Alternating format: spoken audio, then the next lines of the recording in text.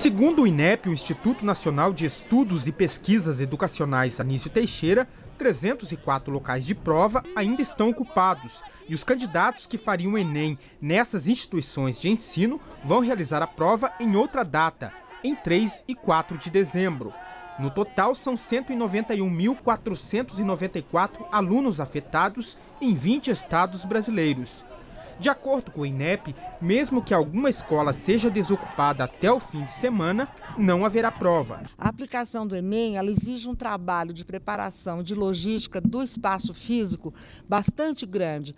O espaço tem é, cuidadoso, nós temos que preparar é, a recepção de alunos é, com necessidades especiais, que têm que ser atendidas em atendimentos específicos ou especializados, prova em braille, prova ampliada, espaço para lactantes, e eh, alunos que precisam de fazer a prova em local reservado, enfim, em cada um desses locais se desenha uma maneira, dependendo dos alunos que vão fazer prova. Segundo o INEP, a nova prova para os mais de 191 mil candidatos terá o mesmo nível de dificuldade da que será aplicada no próximo final de semana. Os alunos não serão prejudicados e o cronograma de divulgação do resultado está mantido. Nós já fizemos todo um planejamento. Os alunos que fizerem a prova no dia 3 e 4 terão seus, seus resultados processados, as análises dos resultados e todos eles estarão no, na divulgação do Enem 19 de janeiro.